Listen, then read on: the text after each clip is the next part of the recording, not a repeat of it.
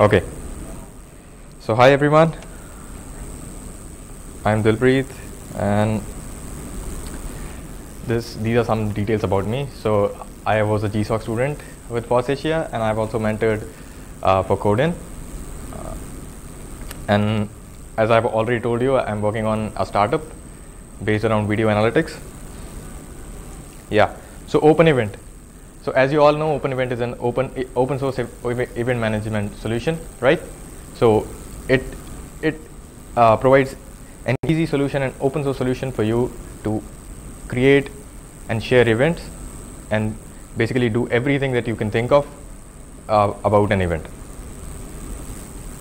So before digging into uh, the front end, let's take a look at how the uh, project is structured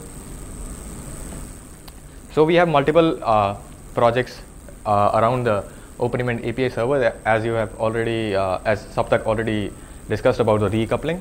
So we have Android generator, which, which lets you uh, generate Android app application for your events. We have web app that you might have used uh, the schedule app uh, on the website. The OpenEvent front end, that the front end of the new decoupled API server, and the Orga uh, organizer app, which is an Android app which lets organizers to manage the events in real time. Okay, so front, what is the front end?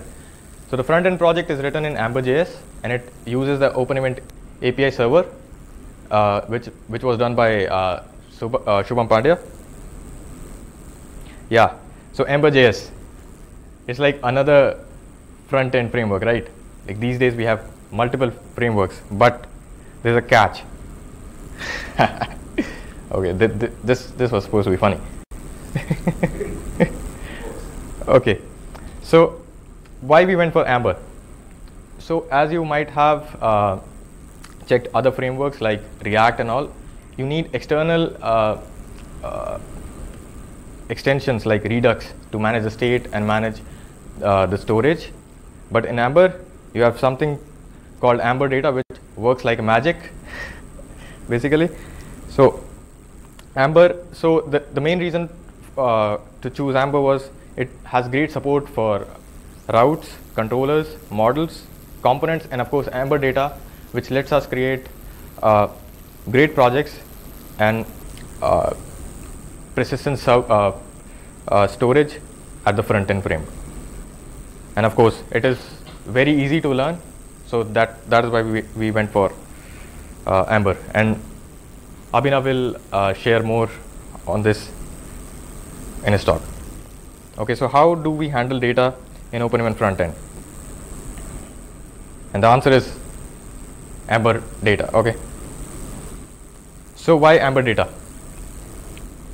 So it lets us minimize the API calls. So as you might have used uh, AJAX in your applications, for every network call in different components, you need to write an AJAX call for it uh, multiple times. So it leads to redundant code. Next, it provides provides e- easy caching. So when we fetch the data, Ember Data stores it locally. Uh, it has a store, so it provides pr- uh, persistent storage, and it is very easy to manage states in our application. So let's see how network calls are made in OpenEvent front end. So this is uh, an image taken from uh, uh, Ember Data uh, docs.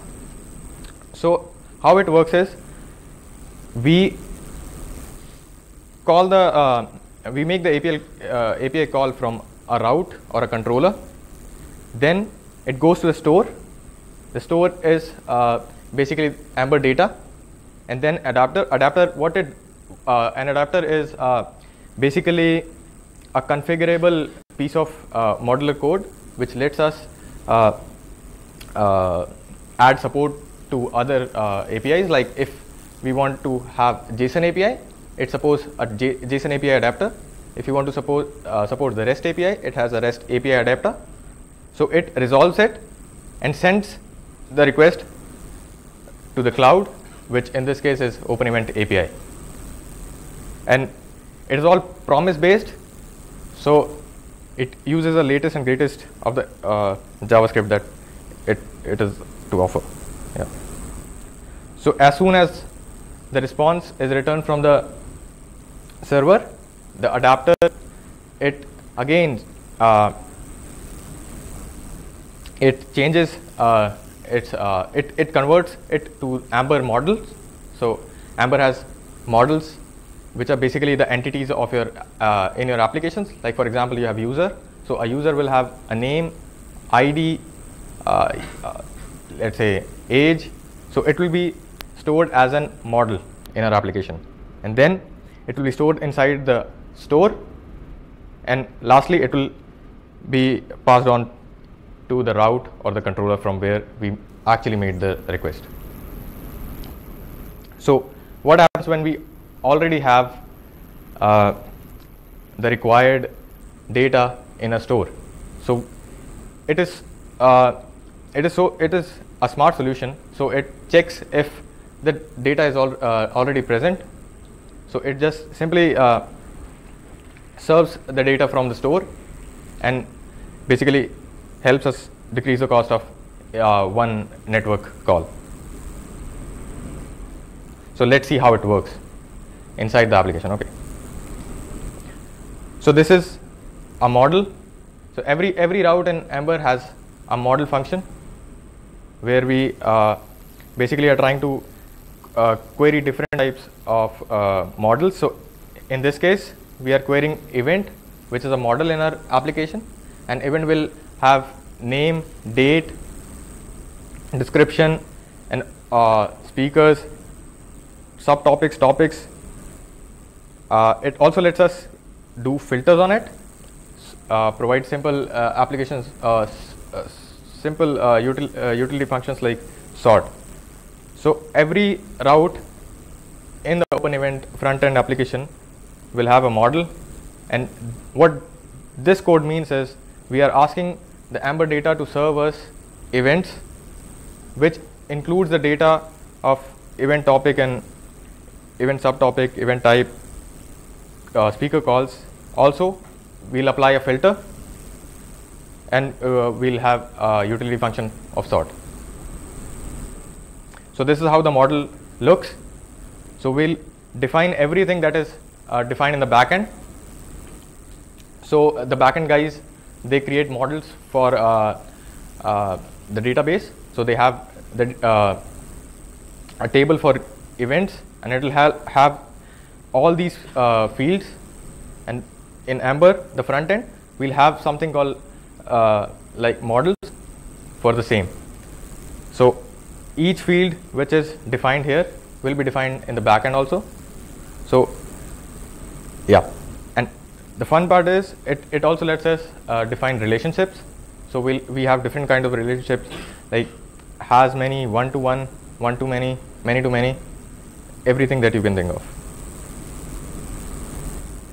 So when we have the uh, data uh, in our uh, route or controller, we pass it to the component. So here event card, as you can see over here, event card is a component and we are passing the data.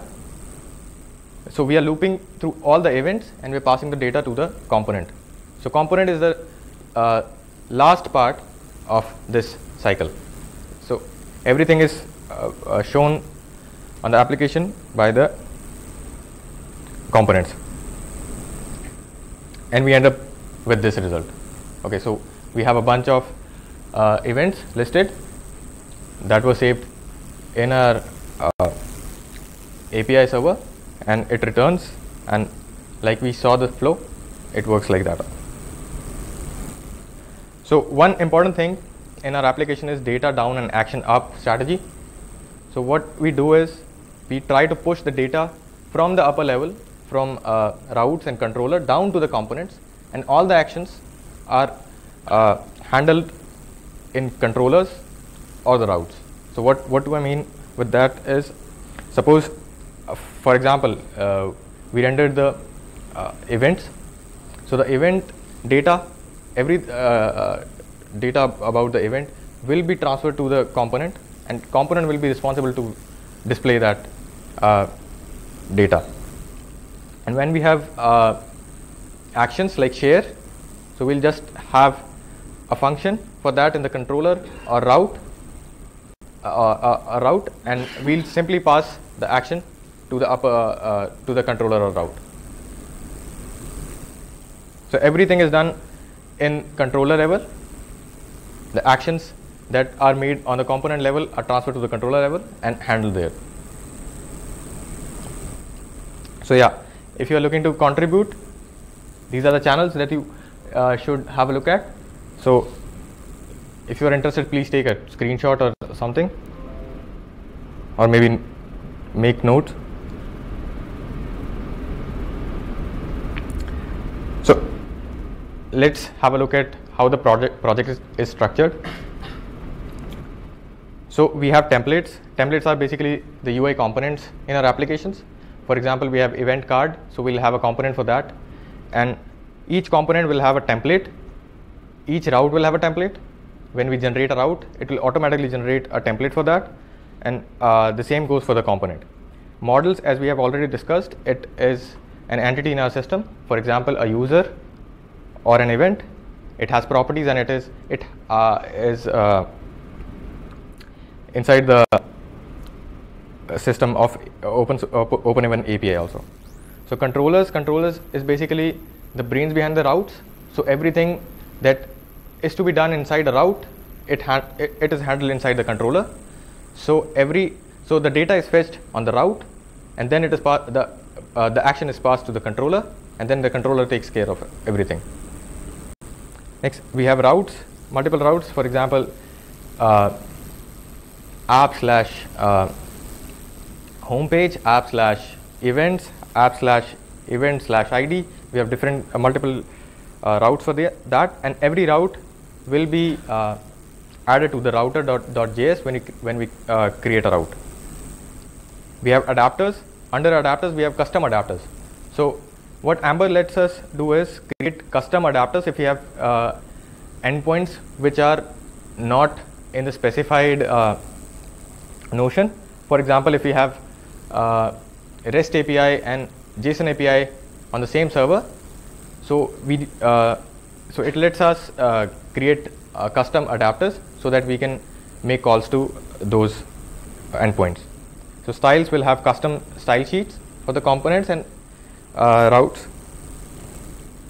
Helpers are uh, basically functions which are used inside the components and components are modular piece of code which are, bi- are binded uh, with the UI and they are responsible for basically uh, rendering the view of the application.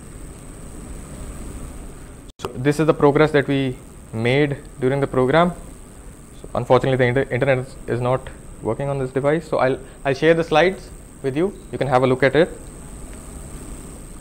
And thank you. That that will be all from my side. So if you have any questions, you can please go ahead and ask. Yeah. How do you handle authentication? Okay. So we How so do you handle authentication? so we have uh,